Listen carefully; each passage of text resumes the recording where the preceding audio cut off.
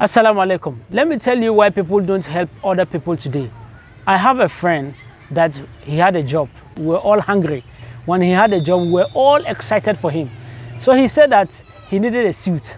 I sell suits, so he contacted me. And then he said that he needed a suit on credit. And I took him to my shop. I gave him one suit and he saw other suits. He requested I add him two more. So it became three suits. He promised to pay within few days or few weeks time. He even got one of my brother to follow him to make part payments. When my brothers followed him, he gave a format. He lied to him, so he didn't give him anything. My brother came. Few days time, few weeks time, I contacted my friend. He has still not paid. As at now, I'm talking to you. It is over one and a half year now. My friend has still not paid even a penny out of the money.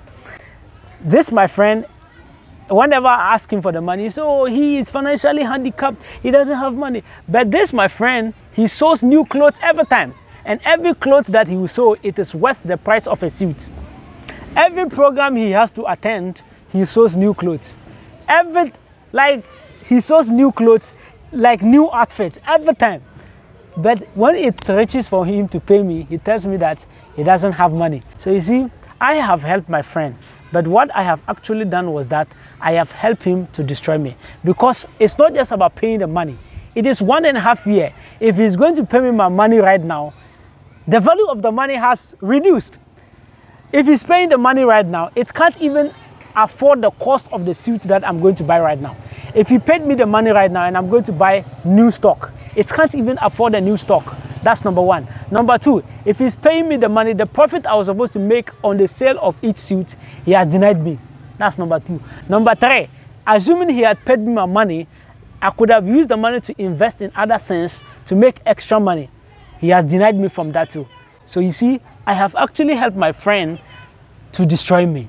And that is why I'm telling you that the reason I'm telling you this is for you as a corporate person, as a business person, you need to be open minded whenever it comes to loaning or selling things on credit. I'm not saying you shouldn't lend your friends or your brothers or your neighbors money. But what I'm saying is that if you want to help them, make sure that they have a good track record of paying back debts. And for this, my friend, I didn't make any inquiries as to whether he is someone who pays debt or not. That's not that's one of my mistake. So don't make this mistake when you are in business. That's number one. Number two is that when you loan people money and they do not want to pay you, and you struggle, you keep struggling with it to the time they pay you. You being a helper, at the end of the business, you become his enemy. He feels like you are his enemy. Why? Because he's owing you small money. That's how they see it now. He's owing you small money, and you you were embarrassing him, you disgracing him.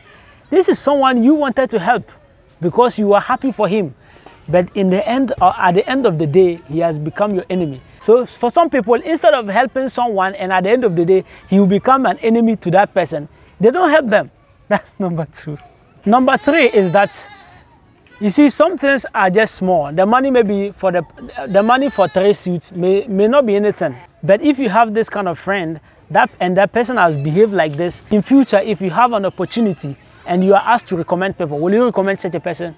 No, because when he goes, he might disgrace you or he might not fulfill his part of responsibility. And this small thing that he has done has dented his future opportunity. So if you're an individual, when you borrow things or money from people, make sure you pay because it is not just about the money you are paying, it is about the future that awaits you and that person. Number four, if you were me and your friend behaved like this, what would you do to him? Kindly leave your comments in the comment box.